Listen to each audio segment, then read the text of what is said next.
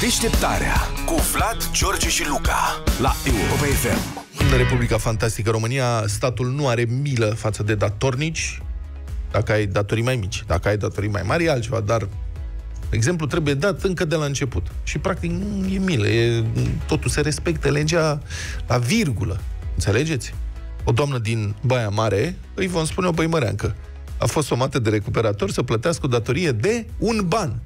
Pentru foarte că bine. foarte bine, așa trebuie. Nu e voie nici măcar un ban să ai datorie. S-a conformat săraca, s-a dus la bancă și povestește. O cheamă Ada Crișan și povestește pentru ziarul adevărul. Zice, eu zice, nu mi-am dat seama cine m-a sunat. Decât după ce am mers la bancă. Eram la rând, de s-a dus la rând și zice, m-am gândit să sun pe numărul de pe care am fost sunată cu o zi înainte în speranța că voi afla astfel cine m-a sunat de la bancă. A primit un telefon, un mesaj automat, care datorie un ban și că o să fie executată, nu o să mai poată să plătească nimic, e evacuată din casă, îi se ia toată averea de-astea. A răspuns un robot, a zis doamna. Așa am aflat că este o companie de management al creanțelor. Adică recuperatori, am uh-huh. spune noi. Dar, zice, nici măcar n-au spus numele companiei. E foarte interesant asta că primești mesaje înregistrate, încerci să suni înapoi, nu doar la compania de recuperator, și la bănci mai nou. La foarte multe bănci se întâmplă asta, la diverse servicii. Și vorbești cu mesaje preînregistrate. Chestie care este înfiorătoare. Iar cel mai nasol este când vorbești cu un robot, de obicei o roboțică. Uh-huh. Știi, care încearcă să pară că este și prietena ta. Bună ziua, zice. Mă numesc Vasilica. Cu ce te putem ajuta?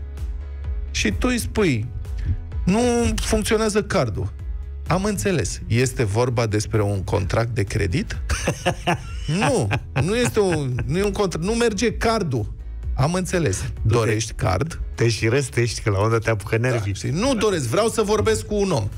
Ne pare rău. Nu am înțeles despre ce este vorba. Da. Pentru nu știu ce, sunați la numărul, și, apăsați unul. Șorea. Da, dezarmant. Da. Și nebunește, nebunește. Măcar la alea care sunt cu apăsat pe taste, că unele sunt mai demodate deja acum, știi? În care zice, pentru detalii despre noi abonamente pe care vrei să le închei, apasă 1 pentru încheiere de noi abonamente apasă 2. Dacă vrei să plătești mai mult companiei noastre, apasă 3. Știi? Și trebuie mai întâi aștepți 6-10 numere în care ți se oferă diferite posibilități să le dai mai mulți bani. Dar dacă știi combinația corectă de taste, poți ajunge, direct. după vreo 5-6 pași, să vorbești cu un om. Adică să fii pus în așteptare ca să vorbești cu un om. Chestie care poate să dureze oricât. Dacă... Eu am, asta mai zic, eu am o filmare am filmat asta, am, apășat, am, am, am așteptat 58 de minute într-o zi a săptămânii în programul de lucru, deci nu era în weekend, să vorbesc cu cineva la o bancă. La bancă? Da, pentru că a, trebuia actualizat tokenul și era o operațiune care se făcea numai cu bancă. Eu am 58 de minute, mă, băiatule. Eu am așteptat mai mult la o companie de asta care distribuie energie electrică. Acum, ca să sun la ei și să dai de cineva, de da. un om, fie da. și dacă vrei să anunți că e o avarie undeva, nu da. există. N-ai cum. Deci nu mai există opțiunea asta. Da.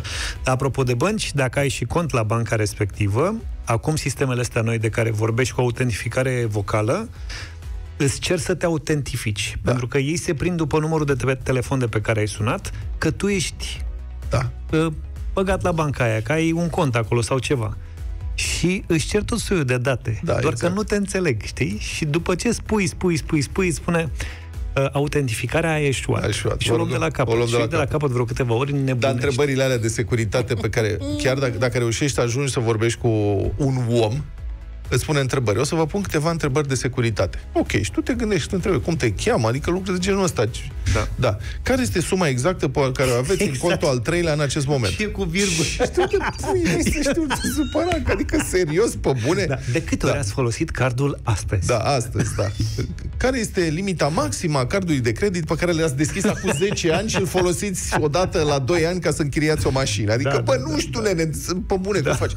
Ne pare rău, nu ați răspuns la întrebări de securitate. Păi și ce facem acum? Acum asta e, luați-o de la capăt și poate învăța să te pregătit mai bine data viitoare. Așa deci este imposibil, pe bune, bă, noi vă plătim, adică serios, vrem un serviciu civilizat, rezonabil. Frate, răspundeți la telefon. Și roboții aia sunt total... Deci, pe bune, adică pentru toate băncile care folosesc roboți, Toți, nu vă spărați. Toți roboții sunt niște cretini.